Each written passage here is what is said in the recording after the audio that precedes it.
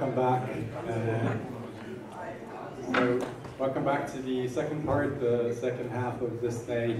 Thank you for those of you who are still with us. Thanks for all the people who showed up uh, now. We're new to this. Um, welcome to uh, Pixel 15. Um, I'm not going to hold you uh, very long. Um, I'm going to pass on to Franz Brandstätter, who's going to talk to us about his work on the Austrian uh, sci-fi movie Rubikon and about his part that he played in the production of the film.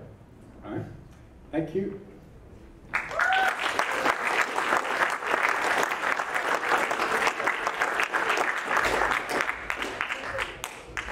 Uh, yeah, um, welcome everyone. Um, I'm Franz Brandstätter. I'm uh, actually in a couple of different roles um, around. Sometimes I'm working as a VFX supervisor, sometimes as an artist, most of the time as a professor at the Film Academy, um, and I'm not looking like that. Um, so I have been, um, I had the pleasure, let's put it like that, I had the pleasure to work on a space movie in Austria, which is really rare, and I want to talk you through the process, how we actually made it happen. So, space movie in Austria. I don't know who has seen uh, the movie yet. It has not been in the cinemas for a long time, uh, a very short time, I would say. Um, but if you get the chance to watch it, I would highly recommend to do it. Visually, it's really um, amazing, I think. And after my talk, you will maybe agree with me that it's really amazing what we have achieved with a very small team. Some people are here that have also worked on this project, and yeah, I will show you a trailer for those people who haven't seen it, um, just to get you into the story a little bit and yeah, what it's about. So let's try if it works. Rubikon to ground control. Ground control, do you read? You did the right thing, Commander. We're safe here. Does anybody hear us? Mayday! Mayday! Mayday! Can anyone hear us?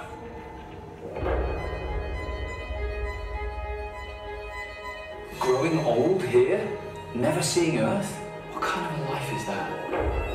There is no shame in caring for your own life, Hannah.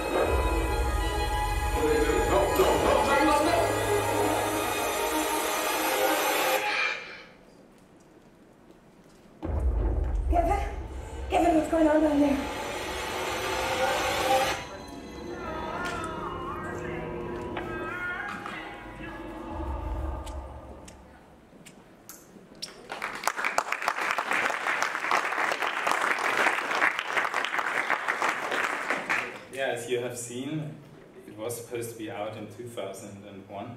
And we were done back then with our work, but production decided to wait a little bit. Um, I got approached by Leni Lauritsch, the director, almost two years or one and a half years before we went into actually shooting that whole thing. Um, firstly, she was a student um, at the Film Academy, so we knew each other.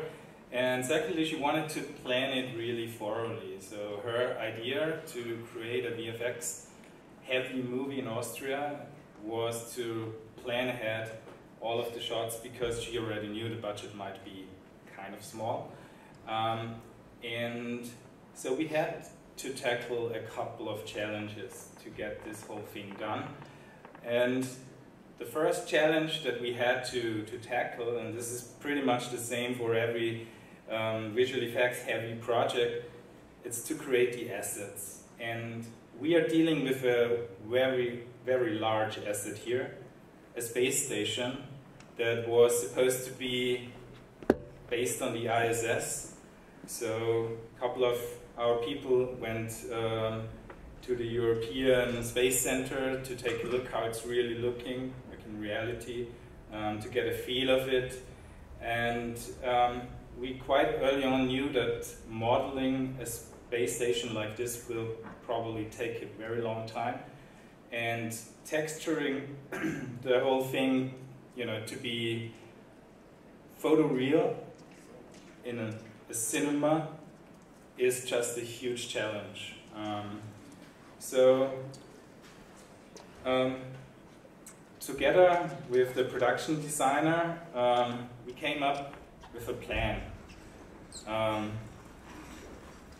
we had the plan actually to only model those parts that are really close to the camera in very high detail and also do the same with texturing and to basically try to, to limit what we had to, to model in a, you know, um, in a production ready state. So what we did was actually to, you know, to, to divide the space station into areas. Um, and you, what you can see is actually a screenshot of the first, of the very first uh, design model. And like it always is, we had to basically delete that and start from scratch because it was done in a CAD program and brought to Maya. And we decided quite early on we wanted to do something completely different. We wanted to work entirely in Houdini uh, to do that. And we wanted to go with a USD workflow, which was pretty risky back at that time because we also decided to render in Karma, which was basically beta back then, and there was not a lot of support. So um, it was the kind of risk that I had to take because we knew Karma was able to render this kind of large um, models in a very efficient way, and we did not have the resources to, to do it differently. Um, we started actually from scratch. When, when I began uh, in November uh, 2020, there were two people, and that was me and um, a producer. So we had to build up a whole team, build up a pipeline, and we thought, well, why not just take the risk and do something completely new? Um, so this is a turntable of a very early version, and um, Leni was very, very much involved in, a, uh, in this uh, process. And this is pretty rare, actually, I would say. And this was helping us quite a lot because we, we were able to communicate all the problems, all the issues right away. And she could actually tell us what is important for her. And you have that um, not that often that, you know, a director sits probably right next to you um, and and gives you the information what she wants to see and what she wants to see in detail. Um, the modeling was actually done by ARRI in Munich, and um, I had the luck that I was working there as a visual effects supervisor five years ago or seven years ago, I don't remember, but a long time ago. So I knew the whole team there, and I also knew the modeler. Um, who has worked with me on a lot of other shots or shows. So um, it was always kind of easy to um, to tell them, hey guys, we need some more detail in this shot or in that shot. Because the main issue or the main task when you do a, uh, a space station like that, and you are in pre-production basically, or you don't really know how the shot is going to look like, you don't know what's going to be in camera. So how can you tell some 3D artist what to model and what, um, what will stay in the background? Um, so we had the three sectors that I showed you before, and we also had the option to always go back to the modeling team um, to tell them, hey, look, we need more, we, we need more detail. We brought the whole thing then into our USD uh, pipeline um, and textured it and um, did, did first render. Mainly what we wanted to see, and that's what you always need to try at first, is it rendering fast enough? and is it flicker free? And that's, I think, for everyone who's doing 3D before, the main issues that we are always facing. It's a, a noisy render, it flickers, um, or it just renders forever. And this is something that we wanted to avoid. We tried to, to push um, to push down basically uh, the settings as low as we could get. Um, and yeah, we tried to render in uh, different elements separately and things like that. So it worked amazingly quite well right out of the gate with Karma, which was not expected. Um, but yeah, we, we were happy with the station at that state. So um, for the space uh, ship, the Vesta, what it was called in the movie, um, we had Mason, a great modeler who is actually um, here, um, who did um,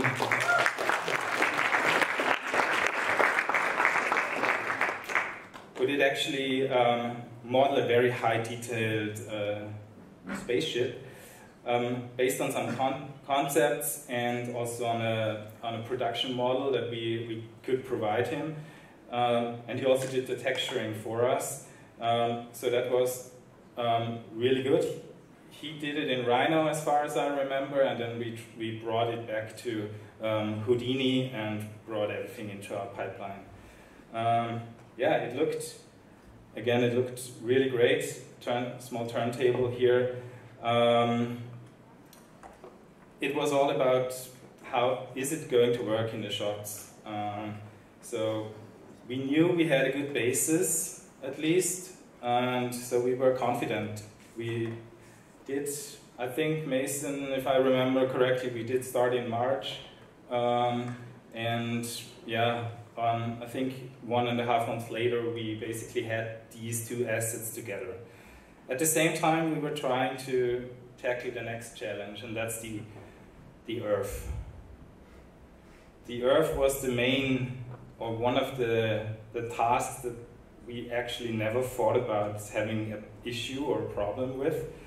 Um, because, you know, we know how Earth is looking like, and there are a lot of models out there you can buy, there are presets, you can take, you can use pictures, but to have, you know, to have an Earth that is looking really convincing in each and every shot is a challenge. So we were trying to find the right approach. So all the renders you're seeing here, that's all renders we have done, test renders. Um, yeah, and so what we wanted to achieve was the highest flexibility. We wanted Leni, our director, to be able to change the world, the planet underneath the space station um, in a way what, however she liked, you know. So when she said she wants to see Europe, we were able to do that and not render forever to do that. Um, it had to look realistic because we all know these. I mean, we see it in, in the news every day. um, and yeah, and it had to be reusable. So it had also to render very fast. So our first approach was, yeah, that's easy. Everyone can do a, an Earth. Let's go all 3D. Um, yeah, that turned out to be very tricky. We did that.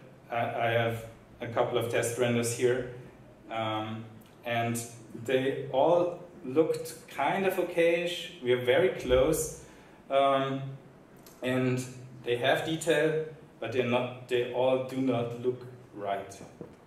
And since we were still in the process of animation, we also did not really know what we would see of the Earth in the end of each shot. So um, yeah, we tried, we tried and tried and tried, and you know, render times went up when we added volumetric clouds to get this kind of nice long shadows, which you really want. Um, but in the end, we thought, is it really worth it? Is it, is it the most important thing of the movie? Do we need to have like these volume clouds? No, we did not. We went all comp. so I came up with a setup in Nuke that allowed us basically to do exactly the same thing as our 3D guys would do. We had shadows that were actually following um, the sun direction. We could we could simulate um, the sun going down, um, and we did some test renders and we showed it to Leni, and I think they looked pretty good. So we decided to go that way. It gave us everything that we, we needed for the, for the movie. It was fast, it was flexible, and it was cheap. And yeah, so that was actually um, the solution then for our second big challenge. The third challenge that we had were the toxic clouds. Two years when I, when I met Leni for the first time, she only talked about the toxic clouds actually. Because when you see the movie, this is what is the most important thing basically. Um, so, spoiler alert, the earth gets covered by a fog, clouds, whatever. The whole earth is going to be taken by something that we don't know what it is, but it's covered by clouds. That's how she explained it to me. And you know, that's the brief that I got, which is very helpful. Um, so, same concept. What is the right approach? Um, what do we want? Highest flexibility? Realistic? Hmm? How can that be realistic? Uh, and reusable, because of course, more shots and faster render. Let's go all 3D. Um, yeah, so that came out after a couple of weeks of testing, and it did not look correct. Um, it rendered quite a long time, and it was based on volumes, and it gave us basically this sausage-like clouds that were extremely noisy, and they rendered a very long time. Um, I think almost five or six hours per frame, and we could not afford to do that. Um, but we continued going that way because we were convinced that we can do it. Um, so we did iteration after iteration. Leni gave us feedback, and I go back to this screen um, because um, a company that did the movie poster quite early on did this concept painting. And so they were hooked with that. And they said, we need to recreate this. Um, or something like this, but a bit different.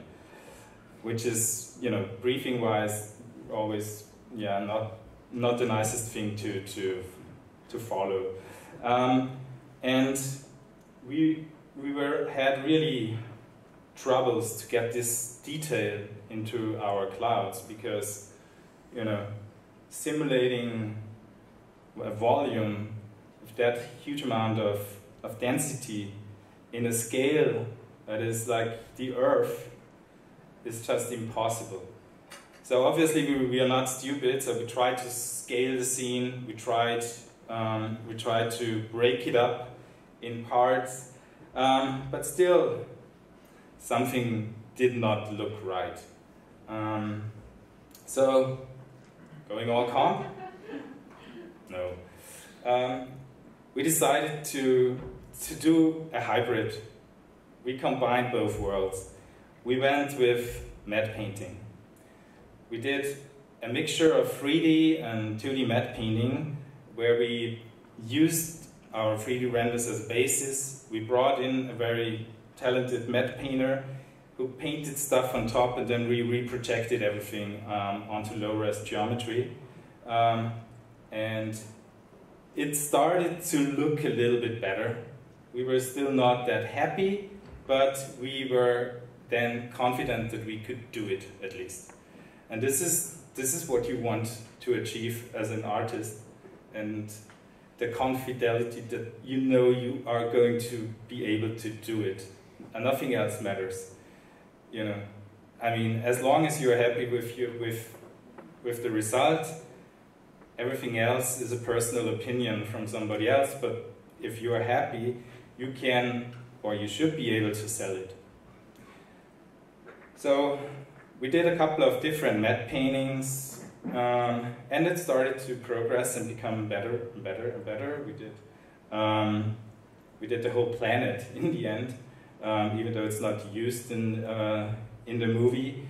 Um, but just to give us the option to choose camera angles, this is like a 40k matte painting, um, so very high resolution, and it gave us the opportunity to recycle that um, planet in different shots. Yeah, and then you always have the last challenge, and that's the same for everyone, and that's the shot production. And the first thing is to go on set and tell them what is not possible or what will be possible. So we had to deal with a couple of spacewalk scenes. Um, that's how we called it. Um, it was the um, the part in the movie where the main actress is um, all suited up in her um, uh, in her suit, and she's she's outside the station. So right from the beginning, we told them, like I said before, our model is not ready for super high close-up shots, and we're not going to do that. Um, so please build something for us that will work. Um, and whenever you place the camera, try to be very conscious about where to place it and never cut it off in the foreground because we are not going to extend the foreground. And that's what they built. and it's really small. it's really super small. Um, so we got an emergency call uh, actually at the day of the shooting uh, from Leni, basically crying and begging us, can we um, extend it in the foreground because it's not going to work that uh, this will cover everything. Um, so we said no, it's not going to happen. Um, but let's see how you shoot it. Um, you can see the measures um, actually there, and um, yeah, it was five meters and um, not even a meter uh, in height, so it did not even cover a body or something. Um, but we decided um, to use a mixture of blue screen and um, actually we shot most of it on black um, just to give us the option to let the model basically fade into darkness um, in the foreground. yeah, it's not the ideal solution, but you know, given the budget and uh, the time, we thought we have to be just clever about it. And roto work is cheaper than doing like a high detailed uh, 3D model.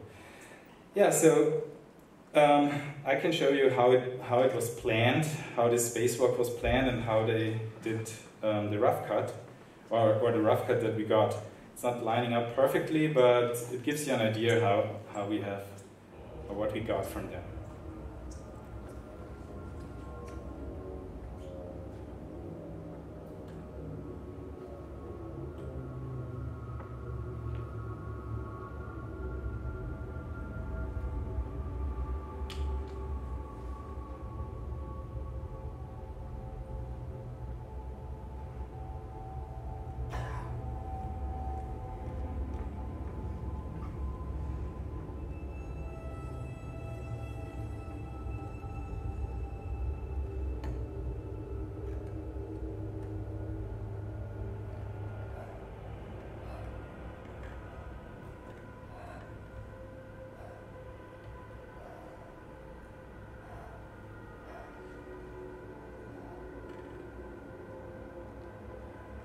Did you see it, Hannah? And the bus really goes away.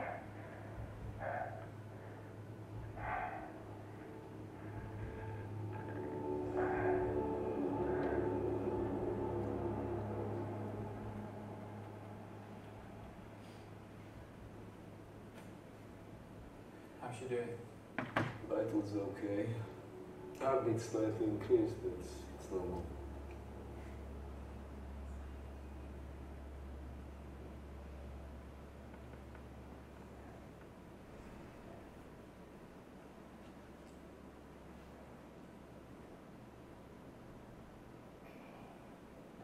You get the test signal? David? Doctor, can you...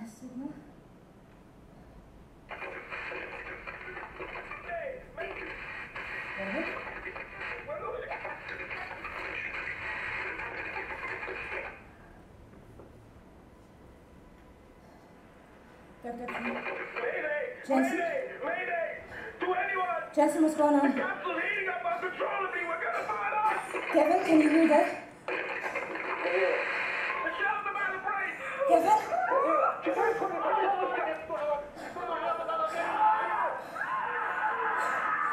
that's right.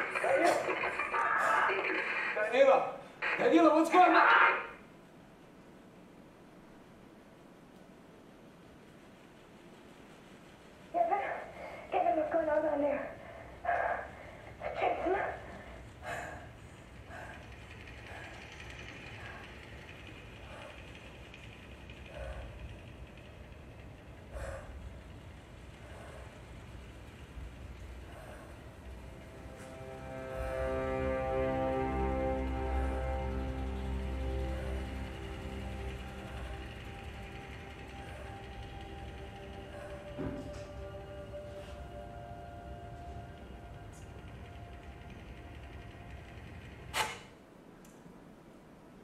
So um, you, you can see Leni sticked pretty well to her storyboard.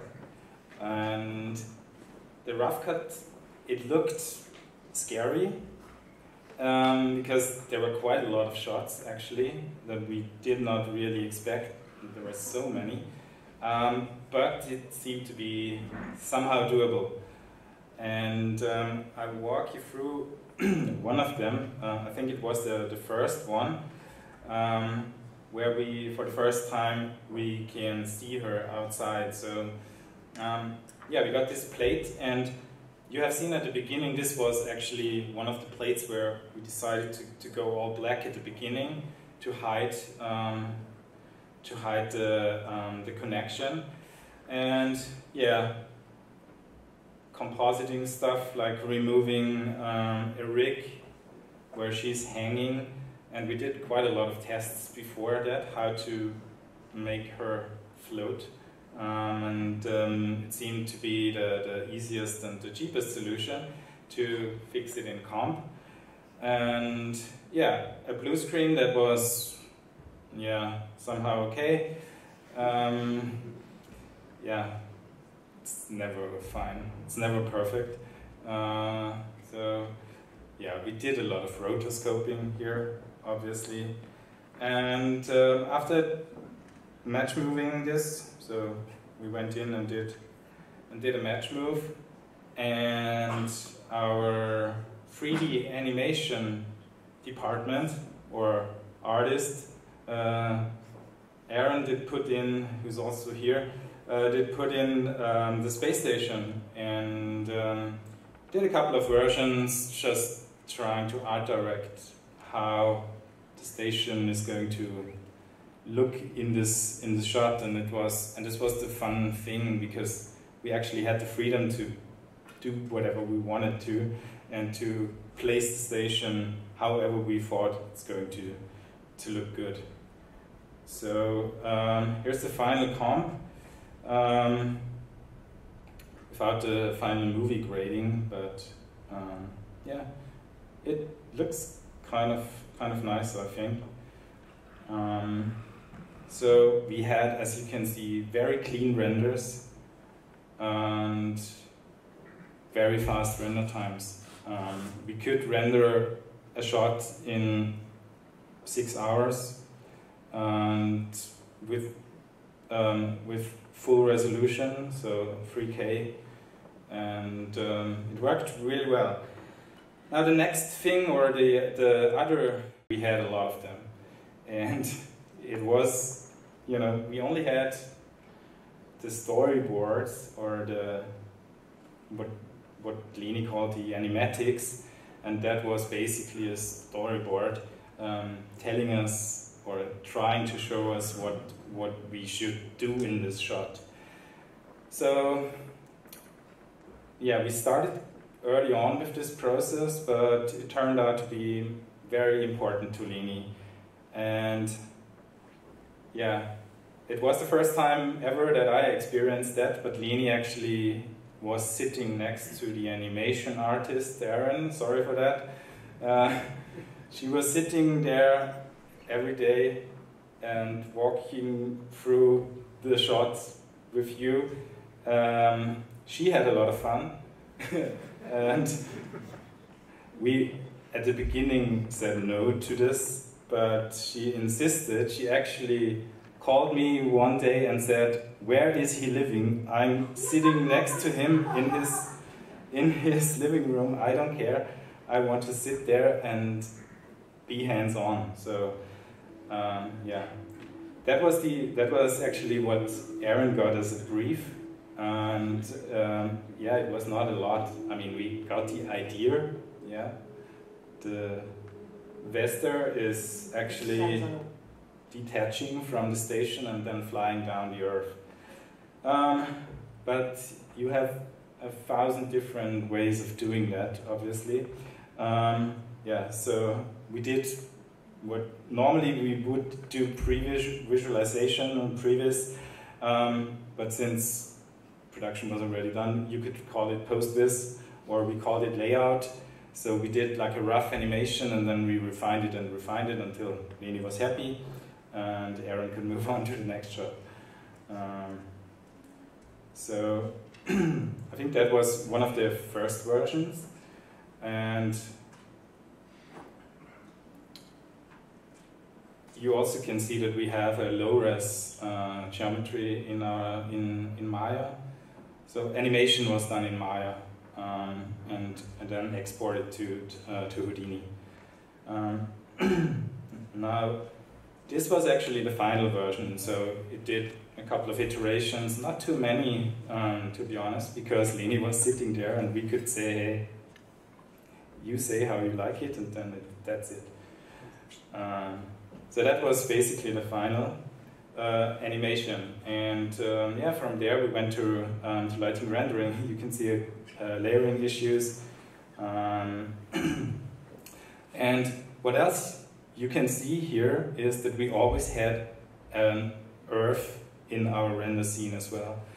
Um, it was not really meant to be used in production, but it was very important for us to get like color um, contribution, uh, like a a blue cast in our in our renders, um, and also to have a sense of how it should look like in comp, because you know we were doing the Earth in comp.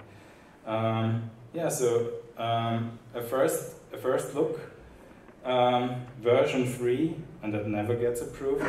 Um, so also in um, in compositing on these full CG shots, it was uh, very tricky to get um, to get the look correct or to get what Leni wanted. So we did a couple of iterations, and sometimes we even did some concept paintings on a still frame of the shots to get her to tell, or basically to give her options to choose what she wants to see. Because I mean, you have nothing, you have a blank slate, and you don't really know what she wants to see. Does she want it in sunlight? Does she want a sundown or whatever? Uh, she wants we can do, but you know we have to give her options. Um, so yeah, we we went completely different with the look. We turned on the um, the lights, rotated the Earth to the dark side basically, um, and changed the light setup on our station as well. And yeah, and in the end, um, she wanted um, more of water, more skylight, more city lights. We have an internal version that is a bit different um, with a lot more clouds because we always found that our compositing Earth was looking a lot better with clouds on top. Um, but that was a, yeah, these are the compromises you have to take. Um, Leni wanted the Earth in all or in most shots without clouds because then there are the toxic clouds later on in the movie, and you know you don't want to see the Earth covered in clouds all the time. Um, yeah. So yeah, the secret to make this happen in Austria, in budget, in time, which was um, really rare, but just great artists. I mean, we had a, a great team, a very small team, to be honest. Um, trust in the process. We did try a lot of things and we failed miserably. I showed you that, and I think you have never seen uh, a talk where people show you what did not work. um, but you have to trust in the artists. Everyone wanted this to be really great, and so everyone worked quite a lot to get this done. We dared to find easier solutions, which is also something a lot of companies do not want to do. They, they stick to their plan. And if it's not working, they try harder. But sometimes harder is not better. Sometimes you need to investigate what is the best solution. And the easier is sometimes better. And I mean, we also had people that are were only consulting us on some on some shots. We, we, we reached out to a lot of people. I would never say I know everything, so I called friends, and we had yeah difficult talks. We had um, we had talks where we said, yeah, it just look does not look good. We have to we have to change the way we approach it, and we had to communicate a lot and that was I think the key or one of the key thing the key factors that this worked out that we were in touch with the director and with the production right from the beginning and we you know could talk about everything. Very very um, honest. And that's and that's very important. We could tell them what will work and what will not work. And we could also tell them hey this is not gonna happen because you cannot pay that. And since they were all very scared because a, a, science fiction movie in Austria was never done before, and um, when they saw our first shot, they were like, they said, okay, guys, no, we will approve everything because it's looking really great. And so we had a lot of fun. And I think that was the the key ingredient to it.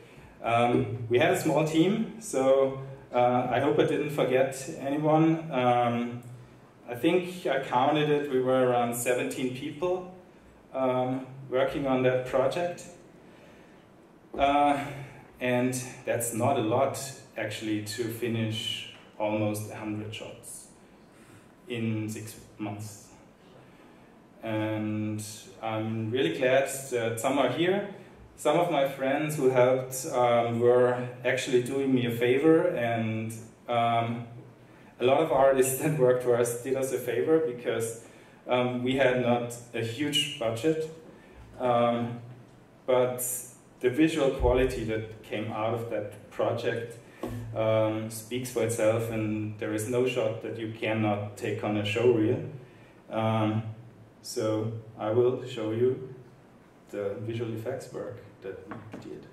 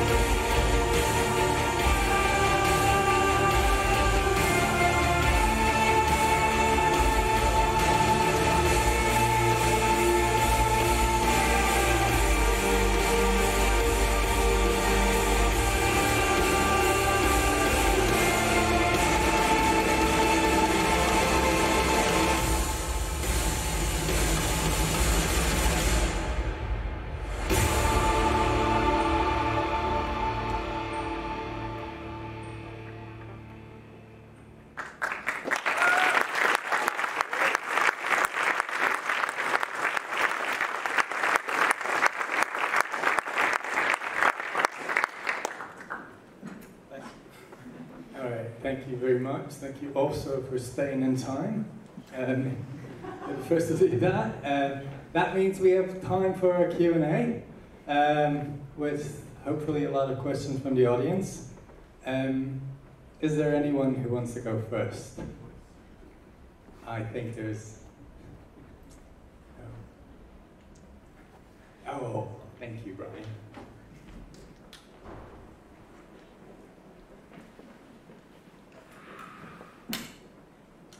So a, a, a danger that comes with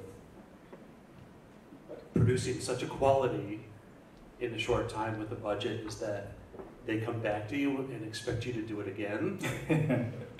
Are you worried about that at all? No. Um, we told them right away that this is not going to happen again. yeah, but did they listen? Um, and, I mean, at least until now, they listened, yeah. Um, I mean, I think that we have to also be very, very clear that um, sometimes a small team is actually able or capable of doing a lot more than people expect. And it helped us quite a lot to not have a huge overhead and also I mean, we did it like students. We had no pipeline. We had, I mean, we built a small one that worked, um, but we had basically we did. Everyone did his or her shot like they wanted.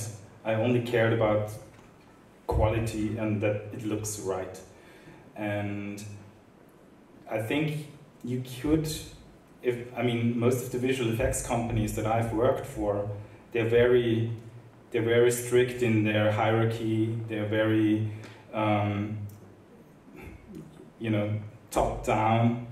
Um, there are a lot of decisions you know not made because somebody else is in charge, and this when you don't have a lot of money, this is not good and I, I knew that. I, I, I had a, a company a couple of years ago in Munich, and it is still very successful. And we, we knew that we cannot be the same as everyone else.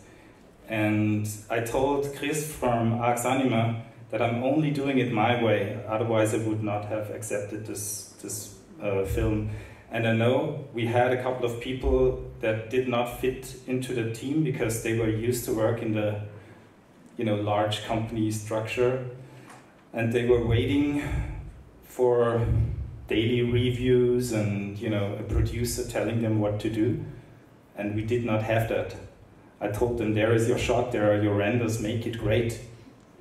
And that's how it worked. And i mean for an Austrian movie, I think if you set up the visual effects company in a very sleek way, you can create great stuff with not too much money. Yeah. How long did it take to create the um, satellite station, the space station? Was it the, the time invested? The Who did it? No, the modeling and texturing. How many, how many days? What? How many days How many days? Oh, it was a long process. Leni, it was pretty much the same as with um, Aaron's animation thing. Leni wanted to basically sit next to the guys, um, modeling and, and texturing the stuff. But um, ARRI had a very limited budget as well, and they told her this is not going to happen. Um, we model it, you say what you want to choose, and you can uh, do this four times, and then it's done. Um, so, and we did the same with a couple of shots where we had problems. We, we communicated quite early on. We have only a limited amount of money for each shot and time, so you got to see it three, four times, and that's it. And um, the modeling started in January, and it was everything was done in April, so four months. One artist.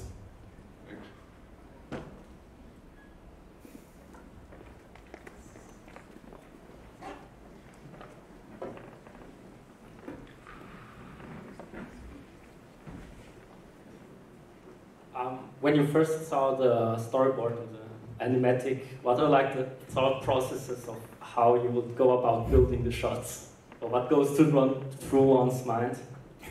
Yeah. Yeah. Uh, first of all, you are scared because you think you are not able to do it in time. Um, that's, I mean, that's as a supervisor, and that's the the difficult part. I am creative at the one hand, and also I have to look at the money and at the um, you know at the hours as well. Um, and I think we did not do a lot of overtime, which was also very rare, um, and that was really important for me as well.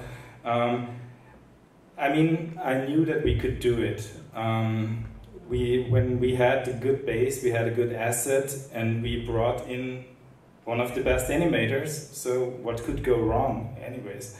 And um, since Leni insisted on being there, um, actually we did not have to think so much about getting it done.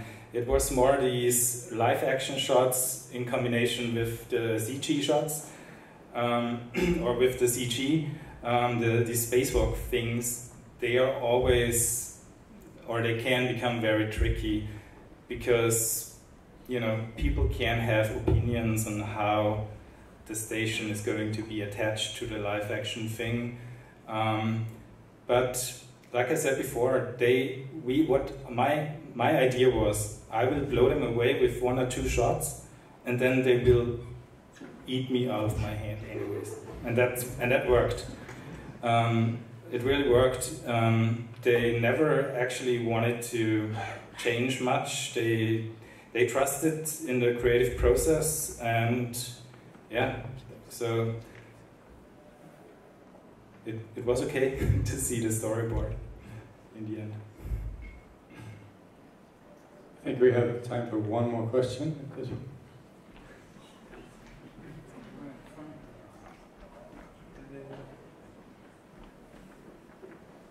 Uh, what was one of the biggest risks you took while working on that project? Um, um, well, one of the biggest things was was the decision to change the toxic cloud setup from 3D to um, to DMP to matte painting. Um, first of all, we did not know if they would like it, and you know it's a complete change of concept because the I mean we had a combination. It was 3D and 2D, um, but still you're not that flexible anymore. Um, you're I mean, if you have a DMP, a, a matte painting, you are stuck to a certain angle at some point. And if they would not have liked it, we would would have to go back and find another solution or redo the whole matte painting. That was that that kept us um, kept us struggling and and also um, yeah um, we were you know or we doubted a little bit if that decision was was good or not. But um, yeah, um, it turned out when when they when they liked it or when they, they liked what they saw, the all the toxic cloud shots, they were just super easy to do because you know it was basically a compositing shot with a little bit of 3D reprojection and they were done within days. Yeah. So, but we didn't know that. Okay. Well, thank you, thank you so much for what I believe is an amazing project. We really enjoyed your talk. Um, thanks again.